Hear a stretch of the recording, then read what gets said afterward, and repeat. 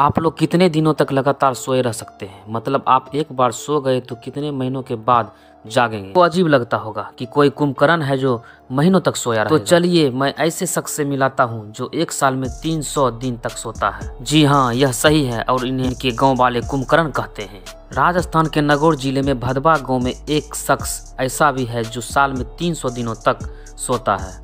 उसका खाने से लेकर नहाना सब कुछ नींद में ही होता है। इस शख्स का पूरा नाम है पुरखाराम।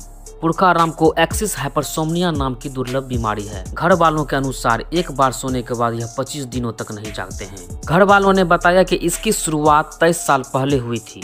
शुरुआती दौर में पाँच से सात दिनों तक के लिए सोते थे। इससे परेशान घर वाले डॉक्टर के पास गए, इलाज भी करवाया, लेकिन बीमारी पकड़ में नहीं आई। परिजनों ने बताया कि धीरे धीरे पुरखा राम के सोने का समय बढ़ता गया और अब एक महीने में 25 दिनों तक सोते रहते पुरखा राम के सोने के बाद उन्हें उठाना नामुमकिन हो जाता है। उन्हें नींद में ही उसके परिजन खाना खिलाते हैं। जब बाथरूम जाना होता है तो नींद में ही पुरखा राम बेचैन हो जाता है। उन्हें उठाकर परिजन बाथरूम ले जाते हैं। अभी तक पुरखा राम की नींद का कोई इलाज नहीं मिला है, लेकिन पुरखा राम की माता कंबरी देवी और पत्नी लक्ष्मी देवी को उम्मीद है कि जल्द ही वो ठीक हो जाएँगे। यह वीडियो कैसा लगा हमें कमेंट बॉक्स में ज़रूर बताएँ।